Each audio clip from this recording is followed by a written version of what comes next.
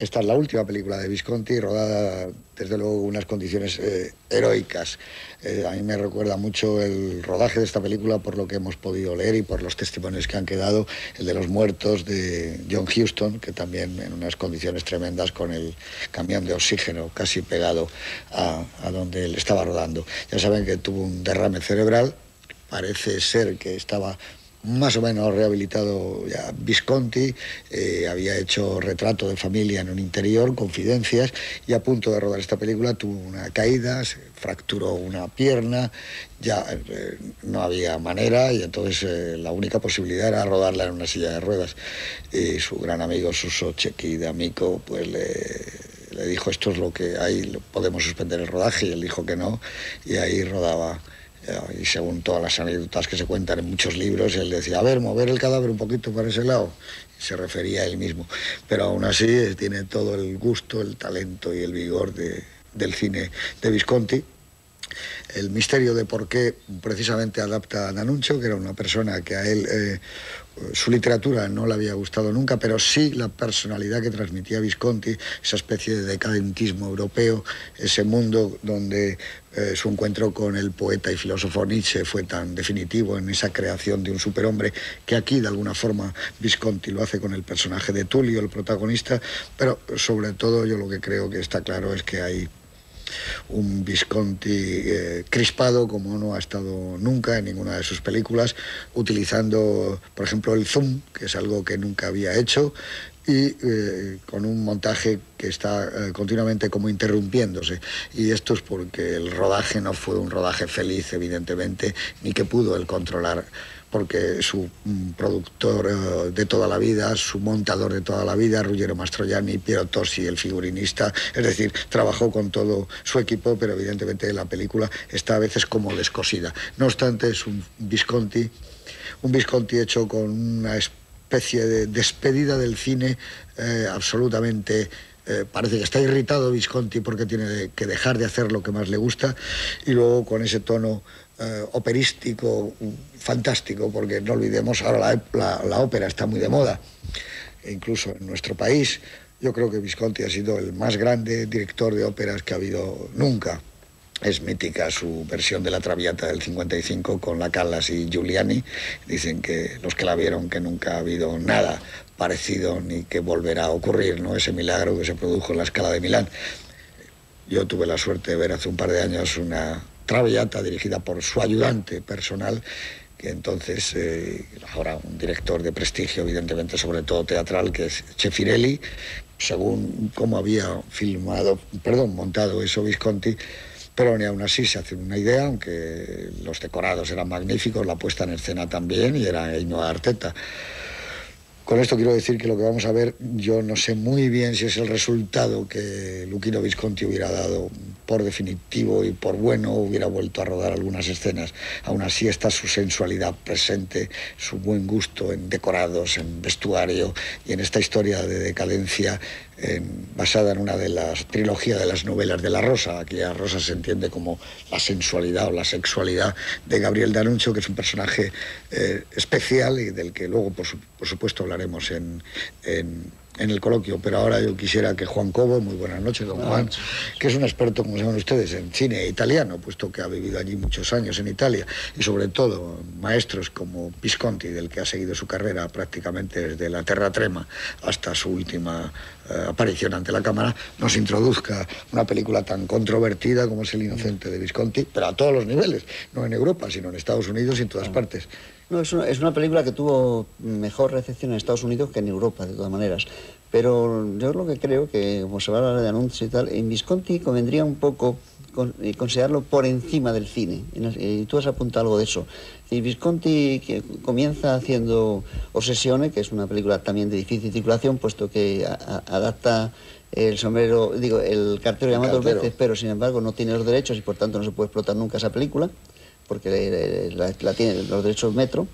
Entonces, eh, Visconti, entre esa primera película, ese primer acercamiento al cine y La Terra Trema, pasan seis años, no hace nada de cine en esos seis años, pero monta 12 obras entre teatro y ópera. Eh, cuando hace Senso, eh, en el 54, hay una temporada que hace, como tú has dicho, monta cinco óperas con María Calas, monta otros cinco o seis obras de teatro. Es decir, la, la, figura de Visconti, solo hacia el final, a partir de, a partir de Rocco, se acerca más al cine y va compartiendo su vida entre el teatro y el cine. Pero hasta ese momento, el teatro, la ópera, eh, las adaptaciones literarias siempre, ocupan una parte importantísima de su vida y explican un poco eh, el, carácter de su cine, yo creo, porque creo que es muy difícil para un director pasar de un medio a otro olvidando lo que ha, lo que, lo que ha dejado, el, pozo que ha dejado lo que ha hecho antes. Tengamos en cuenta además que Visconti, como se sabe, es un noble de una de las familias más aristocráticas de Italia, de los Visconti que están en, en, el, en el duquesado de Milán desde el siglo XIII más o menos, 1200 y pico, eh, la madre de Visconti es una consumada eh, mujer dedicada a la música, muchísimo. Él creo que estudió como 10 años violonchelo. El padre, por esa fortuna que tenían, eh, acostumbraba a tener un teatro familiar al cual acudían compañías y daban representaciones. Es decir, Visconti está criado en un ambiente de la máxima exquisitez y si a esto se añade una formación literaria muy importante y, después, como hemos visto, un acercamiento al cine que se produce, según parece, por la presentación que, le hace, que hace Coco Chanel a Visconti de Renoir. Renoir es fundamental en la vida de Visconti en su afición al cine porque hasta ese momento no había pensado siquiera dedicarse a eso.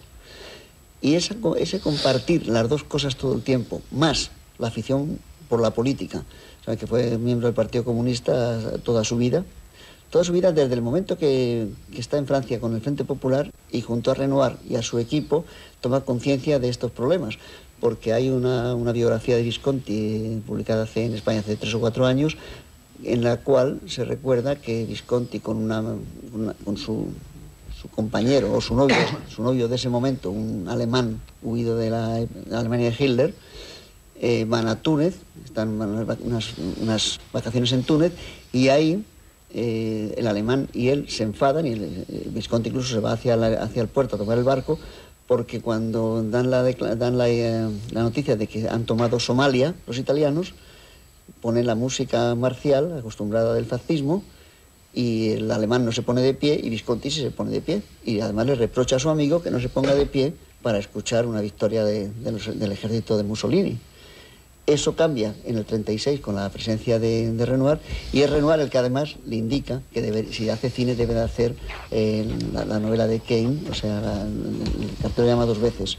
Por eso yo creo que para ver esta película hay que tener en cuenta mucho esa formación